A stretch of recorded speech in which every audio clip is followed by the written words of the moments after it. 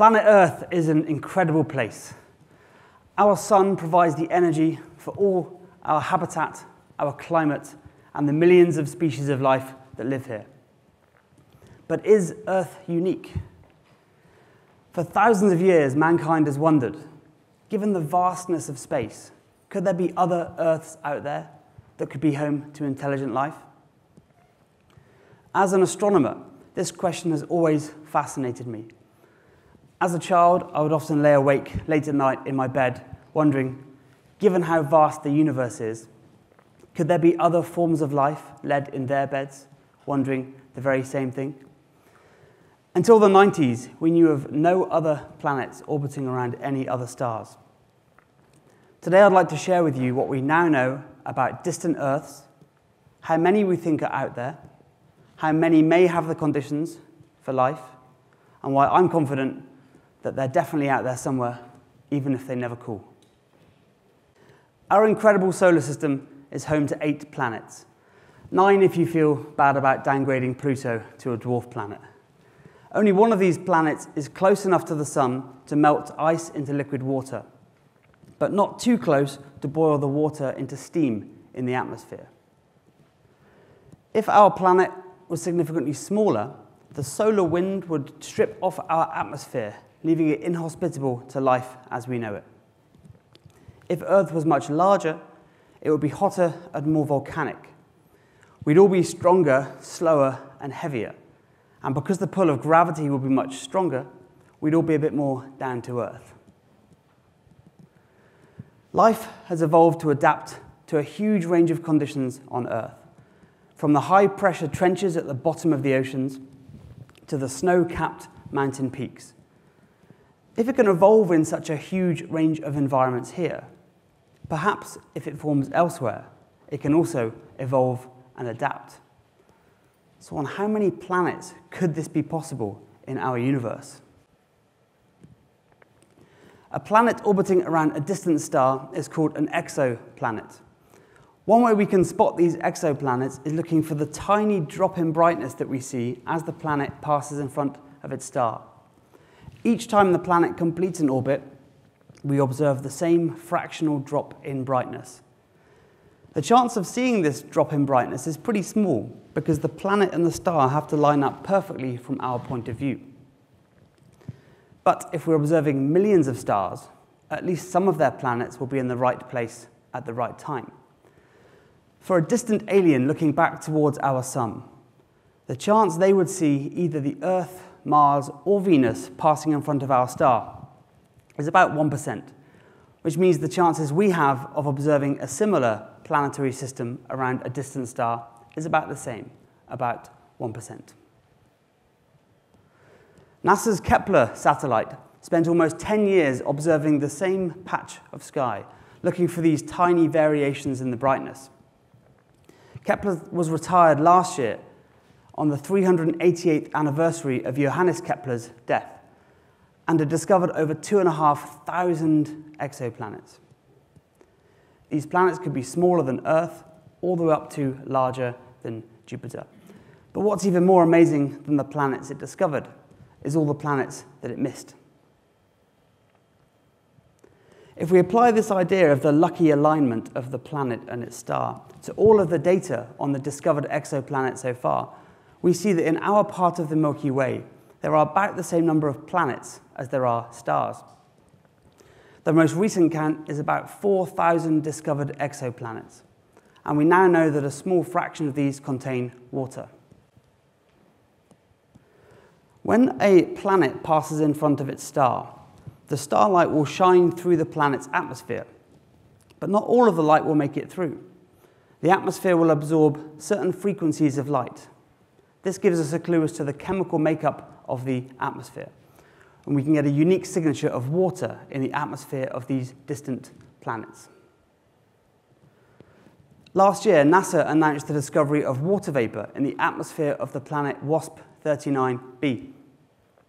WASP 39b is a huge Saturn sized planet, almost 700 light years away from Earth, where the sunny side reaches a scorching 800 degrees Celsius. This temperature would be too high for the proteins of life to form like they have on Earth. But this study is a great demonstration of how we can accurately pinpoint and locate these watery worlds. Last month, a team from Canada and a group from London shared their findings when they used the Hubble Space Telescope to observe an exoplanet with the catchy name K2-18b uh, pass in front of its home star every 33 days. K2-18b is about 100 light years away and is about eight times the size of our planet Earth, so is regarded as a super Earth. K2-18b is the first exoplanet that we've detected to have water in the atmosphere, but in the habitable zone around its star. So how many planets should we expect to have water? Water is formed of hydrogen and oxygen. Hydrogen is one of the fundamental building blocks of the universe, formed in the Big Bang 14 billion years ago. Oxygen is formed in the cores of stars under nuclear reactions. As stars evolve and die, they can distribute their oxygen throughout the galaxy, which can then go on to form water with hydrogen.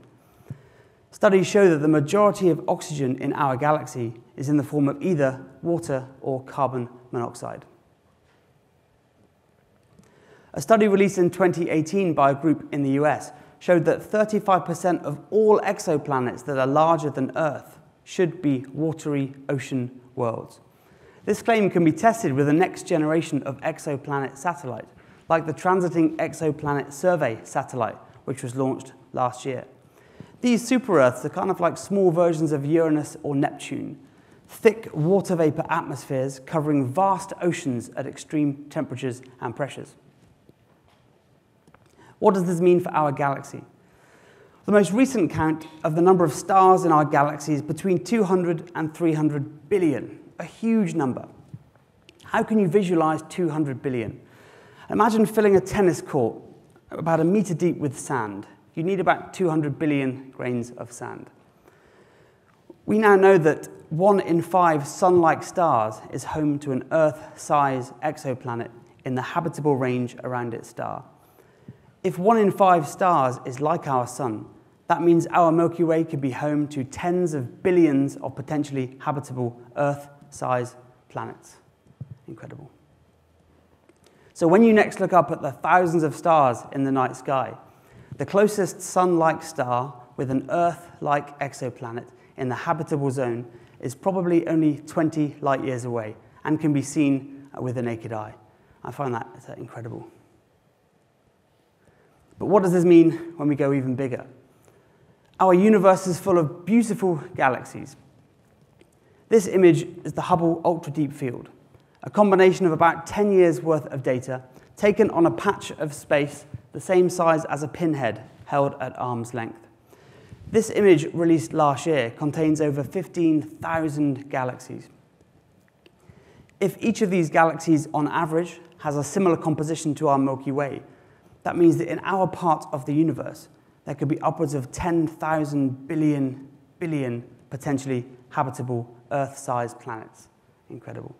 And the real number is likely to be 10 times larger because these are only the ones that can be seen with the Hubble Space Telescope. 10,000 billion billion is a huge number.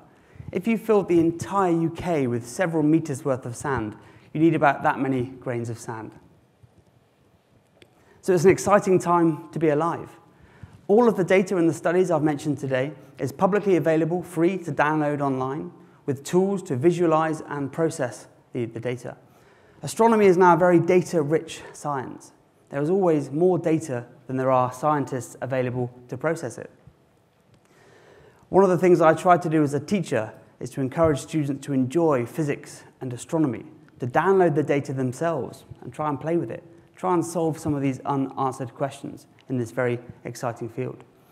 And I would encourage all young people to, to try and become involved in this exciting field. Play with the data yourselves, access some of these problems, and try and answer some of these unsolved mysteries. So to summarize, we have now discovered over 4,000 exoplanets in our part of the Milky Way. We think about 10% of stars in our Milky Way galaxy could be home to an Earth-type planet in the habitable range that could have liquid water. could there be life on any one of these planets? Well, I think we are tantalizingly close to answering that question. But if I had to bet on it, I'd use the words of Benjamin Franklin and say it's more certain than death and taxes. Thank you.